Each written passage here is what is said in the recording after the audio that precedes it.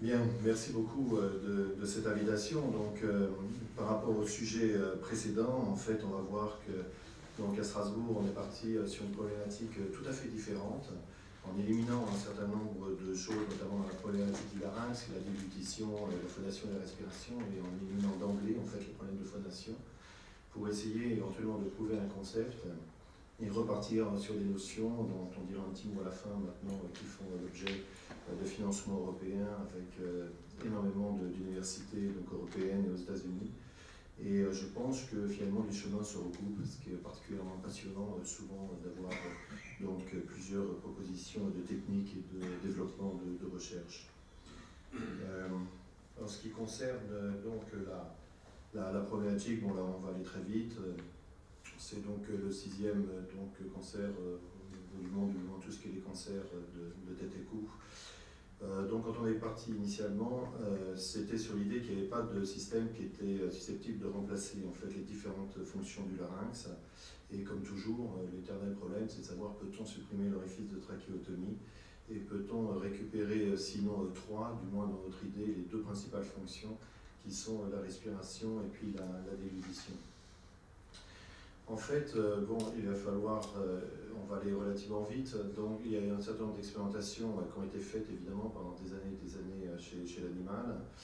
Alors c'est une collaboration qui est faite avec l'Université de Strasbourg, avec la région qui est très très impliquée depuis le départ, l'unité INSER 121, puis la, Fédération médicale transnationnelle de, Strasbourg, et évidemment une société qui est capable en fait de, construire et de fabriquer en fait avec un composant qui est le titane, c'est très très particulier point de vue fabrication, notamment au niveau de, de microbilles. Euh, en ce qui concerne les, les, expérimentations qui ont été faites, donc on a commencé euh, chez le rat avec une centaine de rats. Ce qu'il est très important de préciser immédiatement, c'est qu'il n'y a pas de modèle au niveau du larynx chez le rat et qu'on a travaillé donc sur la trachée. On a travaillé sur la trachée avec du titane poreux, vous pouvez donc voir euh, à ce niveau-là, là le titane poreux qui est ici et euh, en fait pour savoir si les billes en fait, étaient susceptibles d'être colonisées en fait, directement et en combien de temps. Euh, donc pourquoi une centaine de rats? Parce qu'il y a le problème de la technique chirurgicale à développer. Au début, on les rats mouraient assez rapidement et puis on a obtenu à la fin, on a décidé de passer chez gros animaux quand ils ont survécu, au-delà de six mois jusqu'à un an, pour un grand nombre d'entre eux. Après, on est passé chez la brebis. Aussi bien le rat est simple, et nous, dans notre conception, tout, quasiment ce qui ne marche pas chez les rats ne marche nulle part tellement les forces de cicatrisation en fait sont importantes. Et le, la brebis, c'est exactement le contraire. En fait, c'est très lent, euh, c'est un animal qui est difficile, qui est fragile en fait pour les infections. Et euh, donc on a décidé de prendre carrément l'opposé. Donc euh, sans rentrer dans les détails de techniques chirurgicales, etc., on a progressivement amélioré les choses pour, au niveau des conisations des billes, des conisations à l'intérieur de ces billes de titane qui sont, des, qui sont parfaitement lisses et dans lesquelles il n'y a pas du tout d'accroche bactérienne, obtenir en fait des survies les plus longues possibles. Donc au début, c'était des survies 15 jours. Et euh, donc les derniers, euh, les six derniers, ont vécu plus d'un an, ont été sacrifiés donc après un an. Je répète bien la même chose, c'est des remplacements de trachées et pas des remplacements de larynx. Il nous fallait un modèle initialement au niveau en fait, du, du titane.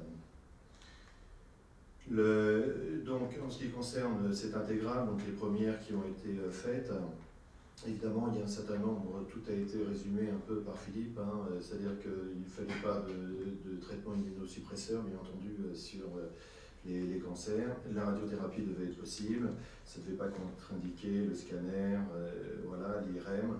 Et, d'autre part, il fallait trouver des systèmes en fait, qui soient capables à la partie supérieure de réassumer les fonctions de déglutition et de respiration et marcher suffisamment longtemps. Donc tout ça impossible de rentrer dans les détails, a été testé évidemment sur des bancs, sur des millions de cycles et dans des euh, conditions plus ou moins difficiles, en tout cas de police alimentaire. Euh, et l'ensemble, après, a été euh, synthétisé pour savoir à peu près comment, en fait, sur le plan chirurgical, une fois que les autorisations ont été, enfin, avant que les autorisations aient été obtenues, on a réfléchi bien sûr sur la technique chez l'homme, étant donné qu'elle n'était pas adaptable pour l'animal. Euh, donc c'est d'abord un tube, vous voyez, qui est en titane, qui a une forme assez particulière, simplement parce qu'elle était déterminée par les expérimentations avant, avec euh, quelque chose qui est complètement fermé en haut. C'est-à-dire que dans un premier temps, on ferme tout, on enserre le tout euh, au niveau, donc après avoir enlevé le, larynx, et on va recouvrir l'ensemble de muscles. Et ce que vous voyez, la partie inférieure est assez intéressante parce qu'en fait, c'est un petit tube de silicone. Alors, si on se dit du silicone, le seul silicone, ça ne tient pas, c'est pas possible. Donc, euh, ce tube de silicone, en fait, qui est ce niveau-là, est destiné à être enlevé quelques semaines après et permet, en fait, au niveau des anastomoses, de les contenir et de les maintenir euh, de manière correcte. C'est le résultat de d'expérimentation, toujours pareil, qui a été fait chez la Bobby, puis après, qui a été fait chez le et dans un deuxième temps, six semaines après, en fait, une fois que l'ensemble est colonisé à l'intérieur, c'est-à-dire qu'il y a une accroche entre le titane plein et les billes de titane, les billes de titane sont à la partie en fait inférieure, et après une fois qu'on a cette accroche en fait qui est obtenue à ce niveau-là, une fois qu'on a l'accroche qui est en fait obtenue au niveau de, à ce niveau-là, on peut enlever le type silicone dans un deuxième temps. Et voilà ici, par exemple, vous voyez, il y a une nasofibroscopie qui est faite donc euh, quelques temps après et euh, qui permet en fait de voir la colonisation de la partie inférieure ici au niveau des billes de titane qui se fait assez rapidement. Hein. C'était fait donc euh, au bout d'une dizaine de jours en fait et c'est déjà quasiment recouvert. Et la caractéristique qu'on voit, c'est que le titane plein, c'est une titane pure. Hein. Il n'y a absolument pas d'infection ni quoi que ce soit. Là, c'est une nasofibroscopie qui repasse par la trachéotomie et qui va donc remonter secondairement. Et là, on voit dans un deuxième temps, une fois que l'ensemble est maintenu au niveau des, tissus, donc euh, c'est la partie supérieure est ouverte, soit au micro-ciseau, soit au laser, et puis vient dessus, en fait, euh, impacter, on impacte euh, cette partie, partie ici, qui est cette, la partie supérieure ici, voilà, et qui va avoir un système de valve. Au début, c'est un système de valve assez particulier. Ça vient s'impacter en fait quasiment en temps réel. Et après, on a fait les premiers essais euh, à partir de là, inutile de dire qu'il y avait un certain empirisme de ce qui a été fait, malgré tout ce qui avait tenté et été tenté auparavant, et on avait un petit peu de mal à savoir en fait comment l'ensemble serait supporté, comment ça pourrait euh, rester en place. Donc c'est une double valve qui euh, s'ouvre à l'inspiration, qui se ferme à l'expiration, dans un sens puis dans l'autre, et qui, lorsque le patient normalement déglutit, reste en l'état, c'est-à-dire qu'il y a une pression de bolus alimentaire euh, qui permet en fait que ça ne s'ouvre pas avec des systèmes en fait de, ressorts et d'aimants en fait à l'intérieur. Donc euh, après, euh, les, premiers patients qui ont été faits, qui datent de 2012 hein, maintenant. Donc le premier patient, en fait, on a une nécrose au niveau de la partie inférieure des anastomoses. Et ça, on a bien compris, en fait, c'était une question en fait, assez technique, mais de ne pas dévasculariser en fait, la partie postérieure de la trachée qui est remontée le patient euh, numéro 2 après, donc euh, on a dû donc euh, enlever donc au bout d'un mois à cause de ça. Par contre, on a eu un échec au cinquième mois parce qu'on n'a pas fait de ce qui a été tout à fait évident à partir du troisième, où on a des, donc des, systèmes qui ont relativement bien fonctionné jusqu'à 8 et 10 mois et dans lequel en fait il faut absolument rajouter sur le plan technique un embout musculaire pour isoler en fait l'ensemble de la partie inamovible euh, de, la pièce. Voilà ici euh, donc quelques, quelques résultats. Bon, il n'y a pas le son. Alors vous voyez que c'est des voix qui sont complètement chuchotées. 1, 2, 3, 4, 5, c'est-à-dire qu'ils parlent en fait absolument sans les corps vocales. Euh, voilà la trachéotomie ici fermée. C'est très très impressionnant, je dois dire, au début, notamment pour les, premiers. C'est-à-dire on ferme, ils étaient en, réanimation, on ferme et ils respirent en fait par le. Paradoxalement, euh, il faut savoir que euh, sur ce type de choses, il n'y a jamais eu de problème avec la respiration. Et évidemment, la canule de trachéotomie restait en place. Mais, mais, parce qu'évidemment, tout le but est pour fermer l'orifice de trachéotomie. Donc si on dit ça, ça veut dire que ça n'a pas d'intérêt. Grosso modo, les cinq premiers en fait, patients, c'était sous contrainte de laisser en partie la trachéotomie. C'est-à-dire que les patients ont enlevé la trachéotomie sous couvert en fait, de surveillance à l'intérieur du service. Donc on les gardait 2-3 jours, puis après ils repartaient, puis on refaisait les tests quand ils revenaient, etc. Euh, simplement parce qu'on voulait absolument aucun accident en particulier et pas de problème. Euh, donc la, respiration tout à fait étonnante, excellente, il n'y a jamais eu de problème. La déglutition est correcte avec la salive, mais avec ce système de valve, beaucoup plus compliqué avec les bolus alimentaires, parce qu'en fait, il fallait corréler dans leur tête quand ils respiraient pas qu'ils mangeaient. La voix, bah, c'est une voix, c'est une voix qui est tout à fait chuchotée de cette manière-là. On ne s'est pas du tout concentré sur le problème de voix. Et euh, évidemment, il y a la, la en elle-même est relativement courte aussi. Euh, là, les, questions principales qui ont été posées, notamment par les anglo-saxons, euh, c'est tout ce qui est ressorti en fait des multiples discussions, communications et publications qu'il y a eu.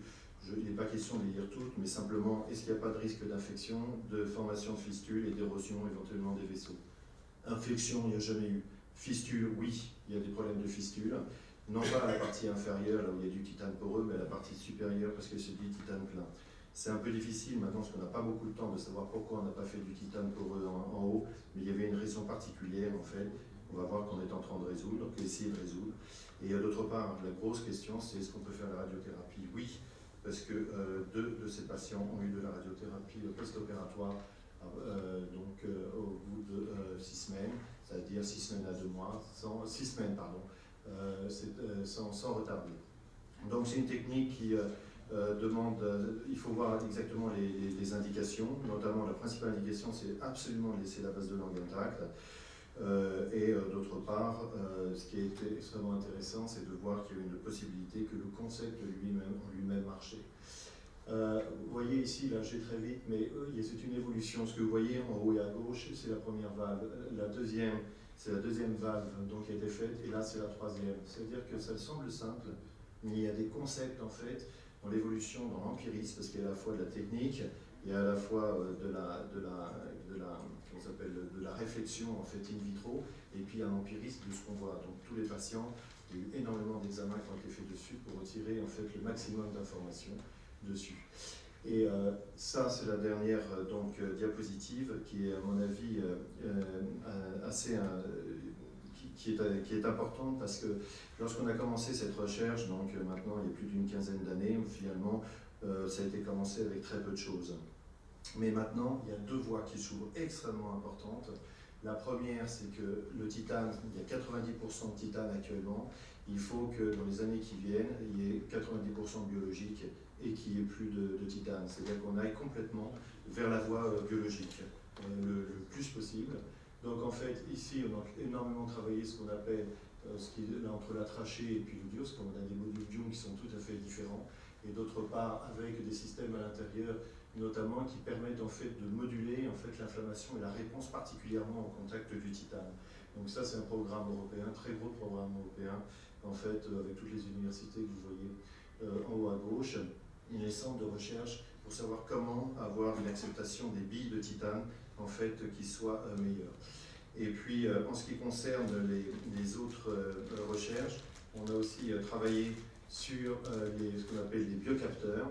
C'est-à-dire que maintenant, c'est aussi un programme européen donc, qui est passé euh, l'année dernière, euh, qui permet en fait d'avoir en permanence les constantes au niveau ou à l'intérieur en fait des billes de titane au niveau de la partie endoluminale pour savoir ce qui se passe et savoir comment réagit le tissu. Ça c'est extrêmement important et notamment ça peut être applicable en fait à toutes les transplantations en fait quelles qu'elles soient. Et il y a euh, encore deux autres grosses choses qui ont été lancées. La première, vous savez qu'il y a eu les premières aussi de trachées, grève de trachée. On en a parlé aussi Philippe mais qui ont lieu aussi à Avicenne, particulièrement avec Martineau. Et la question qu'on se posait, c'est que pour la partie complètement entière, dure et rigide, en fait, du titane, de faire en fait une trachée et de la remonter sur 7 cm. Donc on est en train de travailler ça actuellement euh, donc avec Emmanuel Martineau, voyez qu'on avec le biologique, et un très gros programme européen avec 13 universités, euh, notamment avec Harvard et puis avec l'Institut Planck, euh, sur lequel on travaille en diminuant de manière considérable la quantité de titane et en faisant en fait ce qu'on appelle des microcellules et des microchannels euh, pour permettre en fait la colonisation, mais au lieu que ce soit en 2D, au lieu que ce soit fait en 3D. Donc deux choses pour retenir. Un, on est complètement tout à fait au début en fait de, de ce type d'expérimentation euh, qui a été faite. Je pense que ça n'aura plus rien à voir dans quelques années. Deuxièmement, euh, c'est que des collaborations nationales et internationales en fait, qui se font et qui se mettent en place. Et troisièmement, je crois que toutes les techniques sont intéressantes, extrêmement importantes et qu'elles vont finir par converger ensemble. C'est-à-dire que si les transplantations sont très lourdes et difficiles à faire à cause des organes, on peut trouver en fait d'autres chemins euh, qui permettent d'associer énormément de biologique et un petit peu de titane à la fin, une fois que la produit concept a été fait. Je vous remercie. Merci beaucoup. Qui veut prendre la parole? Merci beaucoup. Je voudrais féliciter les deux orateurs qui nous ont montré les nouvelles voies de remplacement de l'axe euh, laryngé. Il se trouve que dans le passé, avec l'équipe des ORL lyonnais, j'ai pratiqué beaucoup de pharyngolaryngectomie totale. Que Je voudrais revenir simplement sur le problème de la voix que vous avez abordé rapidement, la voix chuchotée, etc. Je, déplore que euh, les médecins ORL et les phoniatres, ou les orthophonistes plutôt, s'intéressent moins à la récupération vocale que dans cette école lyonnaise qui était celle qui, faisait suite à M. Gaillard avec un certain Boachon, que vous avez peut-être connu. Il y avait des résultats qui étaient étonnants dans la récupération vocale après colo, emplacement colique, et qui a disparu, qu'on n'a plus jamais obtenu lorsque ces médecins euh, sont morts malheureusement et n'ont pas été remplacés. Ça vous étonne peut-être, mais on obtenait des résultats qui, dans 50% des malades qui n'avaient pas de récidive néoplasique, permettaient des relations téléphoniques importantes. Et j'ai suivi beaucoup de ces patients. J'ai été absolument sidéré par la qualité de la récupération vocale qu'il avait obtenue. Et il avait été fait une thèse à la Croix-Rouge qui était la voix colique, avec des enregistrements phonologiques, je ne sais pas comment on dit exactement, peu importe, et qui était absolument remarquable. Et puis j'ai vu s'effondrer la qualité des résultats avec le temps, s'intéresser moins aux résultats fonctionnels de la qualité de la voix, ce qui fait qu'on a cherché forcément d'autres voix. Je vous félicite de ce que vous avez fait. Je voulais rappeler quand même que l'on peut, par des méthodes orthophoniques, obtenir d'excellents résultats. Juste pour me permettre de répondre, je suis complètement convaincu et absolument d'accord avec vous. C'est-à-dire que la voix n'est pas oubliée, la voix a été mise en suspens pour résoudre des problèmes en fait, qui nous semblaient euh, initialement tout à fait insolubles. Donc on a fait exactement le contraire. Et d'ailleurs, dans les programmes européens de 2015, la voix est totalement incorporée pour euh, la retrouver au sein justement de ces, tubes, entre guillemets. Mais entièrement d'accord avec vous, ce qui porte, c'est la voix, bien sûr. Je voudrais répondre à M. Beaulieu. Euh, je vous rassure, la voix œsophagienne existe toujours. Il y a toujours une école de voix œsophagienne euh, à Lyon et il y a d'autres centres en France où on travaille la voix œsophagienne. En première intention, tous les patients passent dans un centre de rééducation. On les, éventuellement, après, on leur propose autre chose. Et avant de se lancer dans les, travaux sur la transplantation laryngée, on avait fait une enquête d'opinion sur les patients qui avaient une laryngectomie totale pour savoir s'ils étaient prêts à subir, on va dire, ou à bénéficier, c'est selon, euh, d'une transplantation laryngée. Étonnamment, il y en avait peu peu de patients euh, souhaitaient euh, aller vers une transplantation laryngée. On en était à 15 à 20% dans mes souvenirs. Donc finalement, ça fait peu de patients.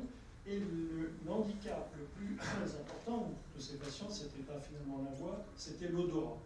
On perd l'odorat quand on a une laryngectomie totale, et c'était ce qui les embêtait le plus, ceux d'autant plus qu'ils étaient vieux, pardon, et âgés après leur laryngectomie totale. Donc la voix n'est pas forcément, effectivement, parce qu'ils arrivent à parler, ils arrivent à avoir une voix œsophagienne. Et donc plus ils vieillissent, et moins ils ont envie de, se faire opérer. Et plus ils sont jeunes, et plus ils veulent une, transplantation laryngée ou une, un larynx artificiel. Mais on continue quand même, on n'en parle plus parce que c'est la routine et tout le monde passe en rééducation et tout le monde va apprendre une voix œsophagienne ou une voix colique. C'est vrai qu'on n'en parle plus parce que c'est acquis, ça, voilà. Pour nous, c'est toujours intéressant, mais on ne fait plus aucune publication. C'est quelque chose qui est connu, archi connu. Vous avez raison dans la mesure où la, la euh, a été la victime de la réforme du DES en 2003, puisque ça a été intégré l'audiophonologie dans l'enseignement de, d'ORL, et euh, le DU de phoniatrie a disparu, et il n'y a plus de compétences. Donc on se trouve d'ailleurs, on en parlait récemment au collège d'enseignants d'ORL, comment le réintégrer, les phoniatres, au sein de la communauté ORL, puisque c'est euh, parfois, il y a des effets collatéraux à ces successions de réformes. Donc, euh, sur le fond, vous avez raison, ça nous préoccupe actuellement. Bien, euh, merci de nous avoir donné les deux orientations laryngées.